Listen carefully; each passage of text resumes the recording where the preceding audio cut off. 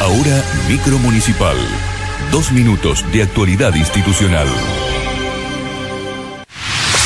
Servicios públicos. Recolección de residuos para la semana de Navidad.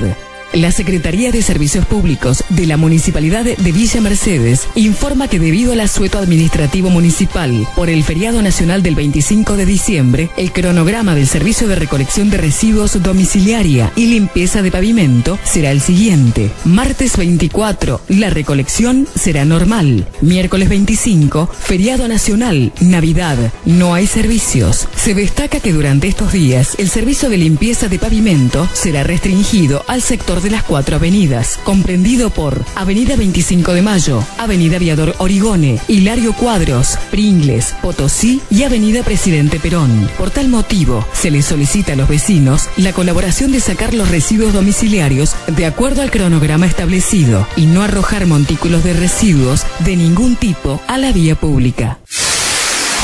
Esto fue Micromunicipal.